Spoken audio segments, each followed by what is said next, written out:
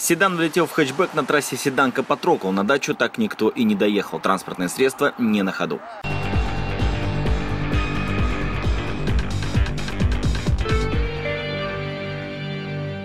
Пожилая пара на автомобиле Mitsubishi Libera едет на дачу в поселок Сиреневка по трассе Седанка Патрокол. Скорость 60 км в час. Внезапно вылетает Toyota Карина и на полном ходу врезается в хэтчбэк. За рулем Toyota Карины женщина. Рулевой Mitsubishi Libera, отойдя от шока, поясняет. По второй полосе микроавтобус ехал.